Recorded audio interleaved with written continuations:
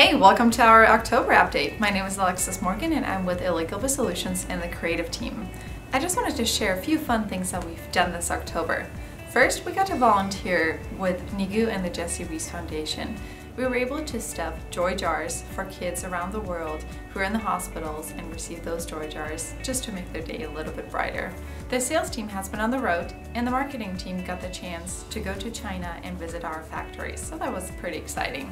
For the month of October, our hottest selling item was the Delaterra Stomer. We can barely keep it on ourselves.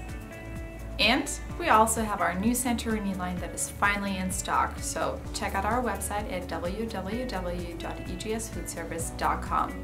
Hi everyone, my name is Sierra and I'm the receptionist and special events planner here at Elite. We finished off the month with our annual Halloween celebration, which included our costume contest and potluck. Check it out.